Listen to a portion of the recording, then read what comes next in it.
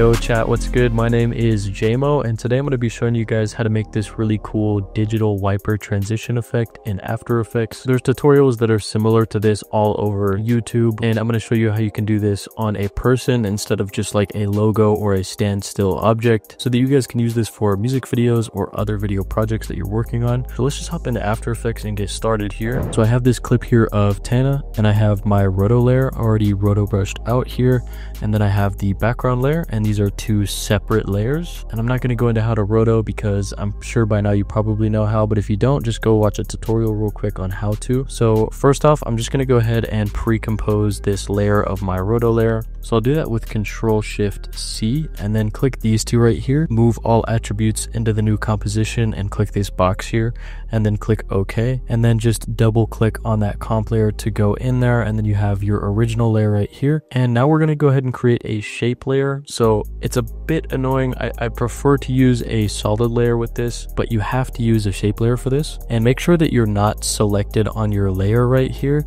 and then come up here and click the rectangle tool. And this is going to bring up your fill and stroke here. So for fill you're going to set this to a white color. You got to make sure that it's white and then click on the stroke options button here and then just make sure to turn off stroke and click OK and then you're just going to double click this rectangle tool and it's going to set the shape layer to the size of your composition right here. And now we're going to go ahead and keyframe in the position. So go ahead and click P on your keyboard to bring up the position keyframes.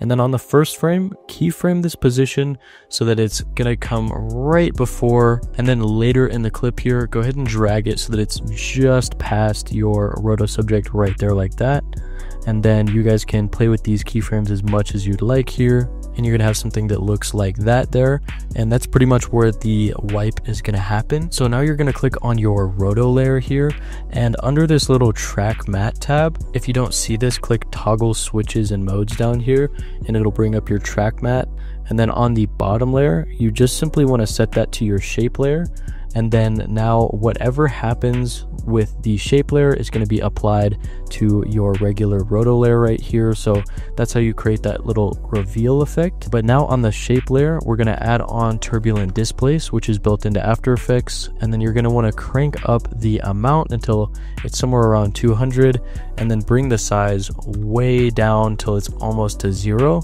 and then as you guys can see here it's a bit low quality because i'm rendering out in quarter quality instead of full quality here. And then if you guys change the complexity up to 10 all the way up there you guys are going to start to get something like that here. And then once we add on the mosaic effect, which is also built into After Effects, we're really going to start to get our look here. So I just set the horizontal blocks to 80 and the vertical blocks to 40. And you guys want to make sure that the vertical blocks is half of what the horizontal blocks are so that you guys can get perfect looking squares. So now we have something that looks like this, which is starting to look pretty good. Um, and then if you guys want to intensify the effect, what you can do is just keep on increasing the amount to maybe something like 300. And then it's just going to add a little bit of depth to the mosaic effect and make it just a little bit longer and more stretched out. So now you can go ahead and pre-compose these two layers together. So just highlight them and again do control shift C and then click these two here and click OK. Now go ahead and just duplicate this pre-composed layer and then drag it over here for now. And we can just name this one roto number one and then this one will be our fill layer. So we're to add on the fill effect, which is built into After Effects, and then change the color to white right here. And then now go ahead and just duplicate that layer again. And then now I'm to go ahead and rename this. So I'll name this fill one, and then I'll name the second one fill two.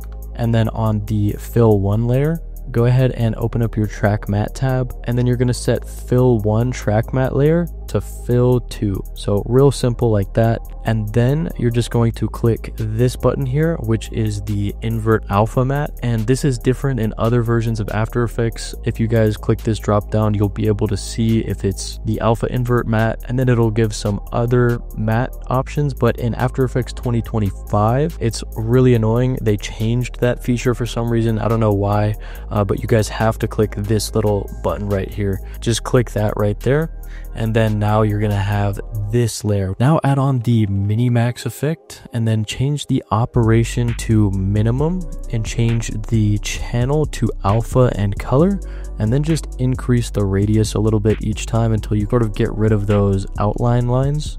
So now we have something that looks like this. Um, and then as well, you know, you guys can increase that a little bit more if you want. So maybe to something like five can look really good. Now the pre-comp that we left over here called Roto 1, we can go ahead and just bring that over here with everything and drag it underneath. So now we're going to start to see exactly what that effect is going to be looking like. And then on fill one layer, go ahead and add on the CC glass effect and then go into the surface drop down and you can bring down the softness a little bit and then bring down the height to a negative value, just something negative. Change the property to alpha again, and then just keep playing with those values. So I'm just gonna bring those all the way down like that. And then if you guys wanna add on the displacement map, you can go ahead and do so, and then just drag everything over to the right or over to the left. Um, and then this can really add a pretty strong digital type look, add a little bit of detail that wouldn't otherwise be there. And then you can go ahead and add on the colorama effect for add phase you're going to go ahead and set that to the fill one layer just so you guys can get more of the colors in there. And then if you guys go down to modify, make sure you uncheck that one. And then as well, you guys can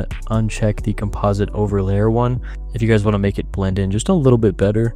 And then of course, if you guys adjust the phase shift, you guys can get different colors or in the output cycle, you guys can get a bunch of different colors and change all of these colors as well. And then again, to get rid of some of the outlines, you can always add on the mini max effect again, change it to minimum again, and then increase that radius until you guys start getting just the parts that you want there. So maybe again, something like five or six cool so now i have something that looks like this which i think looks really really good so far and it's just very very smooth and it's eased in and i like how it's coming over the arm right there. And then you guys can add this effect to the background as well. Um, and then what i like to do is add on glow or like sapphire glow or deep glow you actually want to drag this fill 2 layer over a few frames just like this.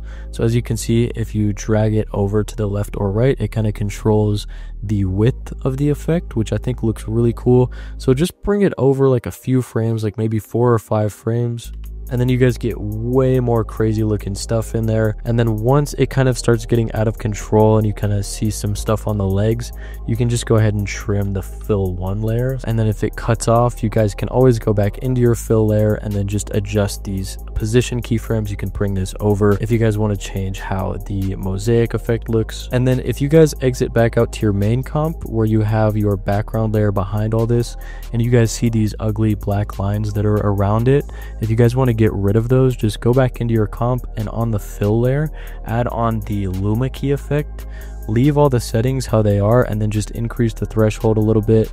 And then if you guys go back out you guys will see that'll completely fix it. And now let's talk about how I got this cool looking background here. So I've done a bunch of different tutorials on the card dance effect.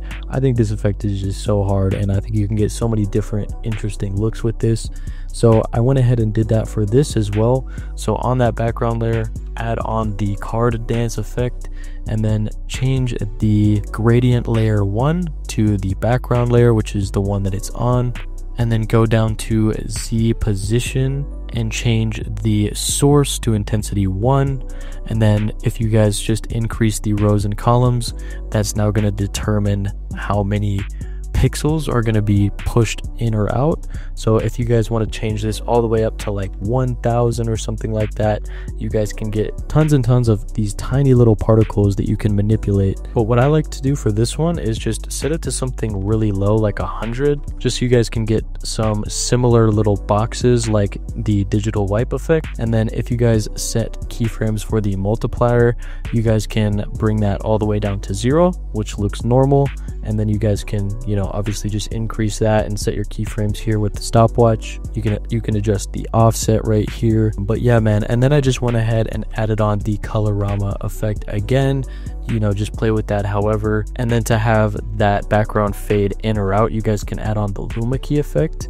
And then again, if you guys just increase this, it's going to help it disappear and reappear. So again, just set keyframes for threshold there. If you guys want to save time while editing, make sure to check out my website. I have really, really good packs and presets on there that are going to help you speed up your workflow. And if you guys want 15% off of your cart today, use the code stinky cheese in all caps. I appreciate you guys as always, for tuning in, man. Peace out.